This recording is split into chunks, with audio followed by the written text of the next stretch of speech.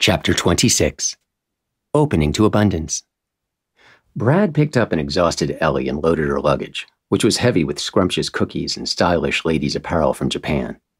He gave her a big hug and inhaled the airplane cabin odors in her hair, an inevitable result of being packed in with 300 people on a 10 hour red eye flight. I missed you. What is the latest news on Okasan? he asked.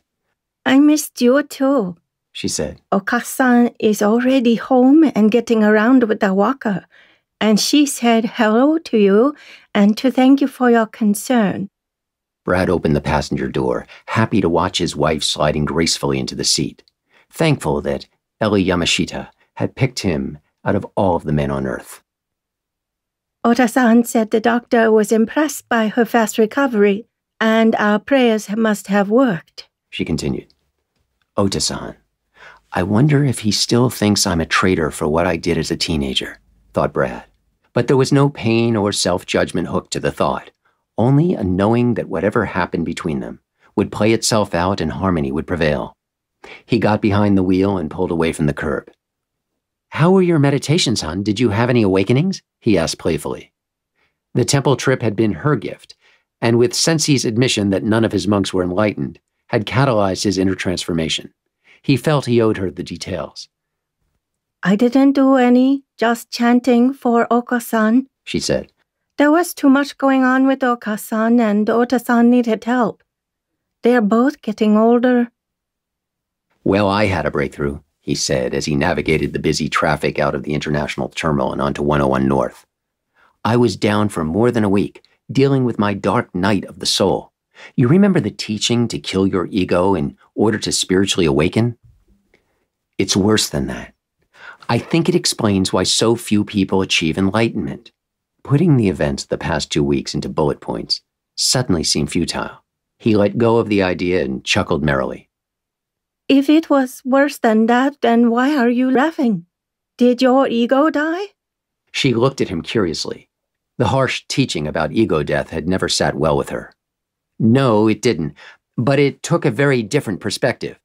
What I thought was my ego filling my awareness is now a small fragment of myself that shrunk into the background. Nothing dies, it just shifts, a shift of awareness, just like many describe.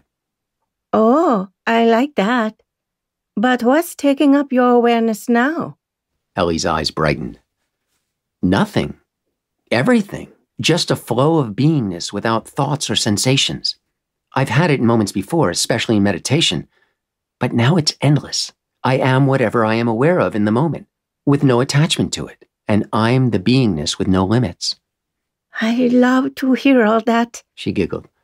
I feel something nice from you. Every moment is an inspiration. I can hardly wait to see what will happen next, even if it's the old routine. Brad had been feeling expansive energy in his body. His movements seemed easier and he was lighter on his feet. They arrived at their parking garage. He hoisted her big suitcase out of the car and they trundled toward the elevator. I have no desire to go back to the temple and show Sensei that I beat his monks at anything, especially enlightenment. He laughed from the relief he felt being able to say that. Oh, good. We don't need any more mountain walks. Then she said in a worried voice, Are you still going to work? There was no room for poverty in Ellie's life. Ota-san had taught her that. Of course, I never stopped. I just had some downtime. They're double booking me now to make up for it. Entering the elevator for the ride up to their floor, husband and wife remained quiet until they were in the apartment, where Ellie looked around carefully, going from room to room, as was her custom after being away from home for a while. You kept everything clean. Thank you, honey. I didn't want you to have to do any dirty work after two weeks of caring for your family. She turned the shower on and was taking off her clothes. Brad was energized and spoke to her through the glass shower door as she scrubbed herself. I reviewed that book you were reading last year, Opening to Abundance, and I had an inspiration. The Zen koan about chopping wood and carrying water makes complete sense now. There's nothing better to do than to keep working. Everything changed, yet nothing changes. That's nice. Let's be mindful of everything, she said, singing the words. Within a minute after toweling off, Ellie was asleep on the bed. He looked at her, loving her more than anything, more than ever. His heart had expanded and filled space as far as he could conceive it. There was not a single moment of experience for Brad Rosedale that was untouched by this great heart. He pulled a blanket over her and slipped a pillow under her dreamy face. With Ellie home, Okasan recovering, and no more inner drive goading Brad to beat the competition, the world invited rediscovery. His old routine became a sparkle of inspiration in each moment. Sitting at his PC as Ellie slept, he reviewed updates in some online medical journals when a psychotherapy conference called Non Dual Wisdom caught his eye. The practitioners were implementing an approach to help their clients, one that made them feel accepted by creating a safe space and restored them to wholeness or unity, which solves the core problem of feeling isolated. Not only were the practitioners psychotherapists with PhDs, but some were spiritual teachers. At least one of them had been recognized by Adyashanti as enlightened and was giving satsangs, which he described as gatherings for seekers of truth. There was the word truth again. Now he understood how much the capital letter was deserved. Brad was intrigued by the impact the non dual wisdom approach could have on human suffering and wondered how he could incorporate it into his medical practice. He leaned back in the chair and contemplated what was wrong with the traditional doctor patient relationship. There are three common complaints that patients have about their doctors He didn't listen to me. He didn't touch me. And he didn't tell me anything I needed to know. Aha! Two of the three would be covered by making patients feel accepted and restoring them to wholeness. Adding in the element of human touch would complete it for a three part approach.